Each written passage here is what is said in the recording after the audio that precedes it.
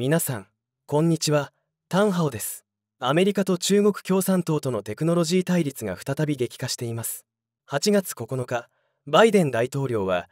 アメリカの企業や個人が中国のハイテク企業への投資を制限する大統領令に署名しました。来年から施行される予定です。この大統領令はアメリカがテクノロジーの戦場で中共に対抗する新しい武器ともいえるものです。即時の影響は限られるかもしれませんが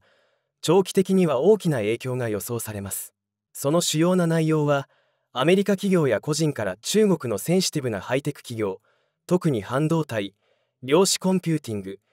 AI 分野への投資が制限されるというものです。この政策の背後にはアメリカの国家安全保障を強化する目的があり